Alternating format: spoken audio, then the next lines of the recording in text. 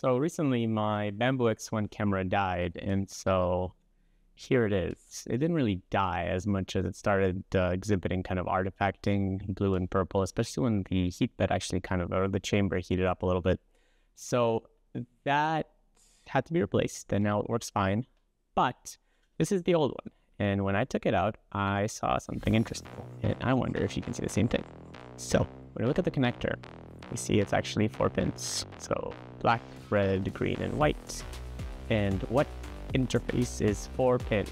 Do, do, do, do, do, do. That's right, USB.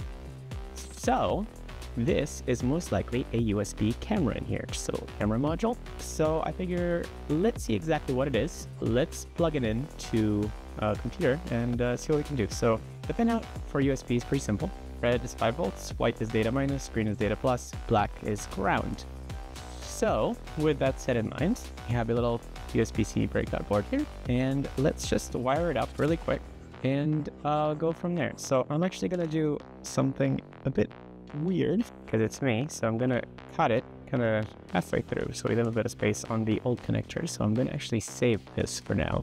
We'll put this to the side for later in the video. And let's just take the four wires off the old connector and we are just gonna wire it up by volts. Gonna do data minus, there we go. Green is data plus, okay, and then. Cool. And let's get a laptop. So I have my MacBook, have a USB-C to C cable. So we're gonna plug this guy in, plug this other end in, and plug it in like that, and then nada. But not all hope is up yet because it might be that we just don't have the right resistor stuffing on this here breakout board. In which case, we just need a dongle and we need a um, type A to type C cable. Right, so here's our dongle gonna plug it in like that and type A to type C. So we're gonna plug the type C in back here and then we are going to plug in the dongle. There we go, much better. So what can see USB accessory wants to connect, USB hub, yes. And we have a couple devices because it's a hub, a second vendor ID. Let's see if Photo Booth actually recognizes the camera. So that's my main camera, but look, UDA S01A. And look at that, ta-da! We have the same camera, oh, but that is the uh, Bambu camera. This is cool, which means the USB, uh, the camera is USB in these. But this gives me another idea if we can take the Bambu camera and make a USB, will the Bambu printer itself let you use a USB camera like a Logitech C920? And remember how we saved up the connector before? So this is the side that goes into the Bambu. Well, we can do the exact same thing with a USB-C connector for the for the camera. So, okay, so I couldn't find the right cable, but I did find something else. So my Logitech mouse actually came with this dongle, which is uh, USB A to Type C. So we can we can use this one, this, this, this, and then the C920 here. So we can plug it in kind of like this, and then we can use the uh, use the C to C cable kind of like that, and that should work. Although this is kind of dongle hell, but man, it'll work. I think maybe. So let's start this up and see if um, we get a video. Yikes. But this should be good enough. That's only a test. Like, I'm actually planning to run this ever. That should be good enough. So now, in theory, I can plug this guy into this guy. And my X1 Carbon is actually busy right now, but we're going to jump to that, plug it in.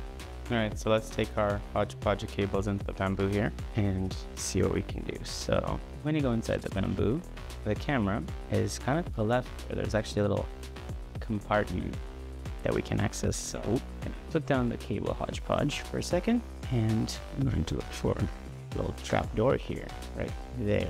And all I'm gonna do is I'm gonna fish for the cable from our camera, which is here, unplug it, and we are going to take and plug that in instead, which is kind of encouraging. So there's light on the C920. But the question is, can the same thing be said about the Bambu Handy app? Can I actually monitor a print right now? And the answer is yes. So if you look at the Bambu Handy app here, I'm actually moving the camera around. And uh, that's the C920. The answer is yes. So here's the feed from the C920. Um, it's a little grainy. I don't think it's really expecting that. And probably, you know, the cabling isn't amazing. but it's working. So let's uh, let's do a print with this. Interesting. So I'd also try to connect an Insta360 link, um, but there seems to be a bug where half the images are very green and the top of the image isn't. But it's kind of interesting to see uh, that it does also work, just uh, the Insta360 sitting on top. As you can see, not ideal in terms of uh, an image quality. Okay, so one more test. Uh, same setup, this time with a, a DJI Osmo Pocket, the newest one, Jones ASD Pocket 3. There we go, and that's what I was filming for. In webcam mode, and you can see the kind of video footage there.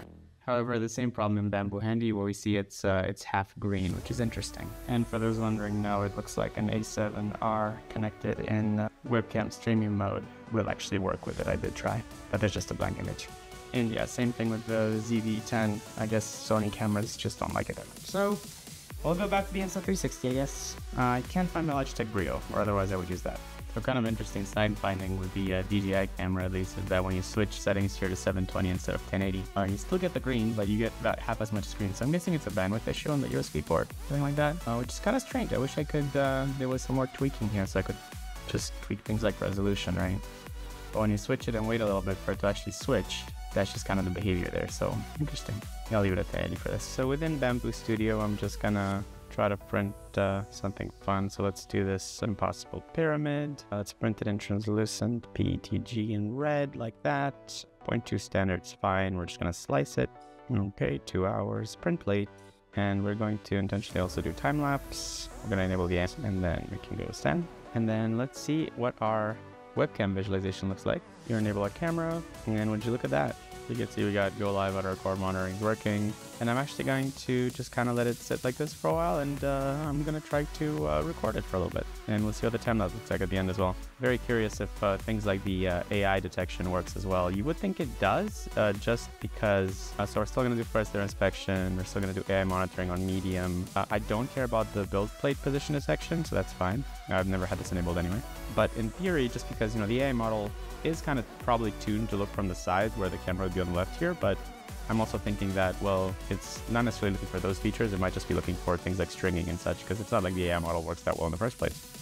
So uh, let's see where this goes. And uh, yeah, I'll be back next time. So this is the final time lapse that came out. And uh, one thing I noticed was that I thought that uh, I actually had the wrong AMS filament loaded because I had selected red translucent plastic, but I got gray in the video. Uh, well, what do you know? In real life, it was actually red but um, it looks like the image is actually grayscale. So there's definitely some processing that's not getting done correctly with the other webcams, but uh, it's interesting results. And uh, maybe one day Bambu will actually release a kit that lets you uh, use whatever webcam you want, because I think it's interesting to get different angles and use the pr uh, printer's built-in time-lapse functionality, but everything otherwise seems to work just fine.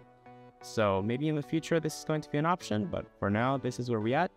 You can use your own USB webcam, especially if you use a potato one like the C920.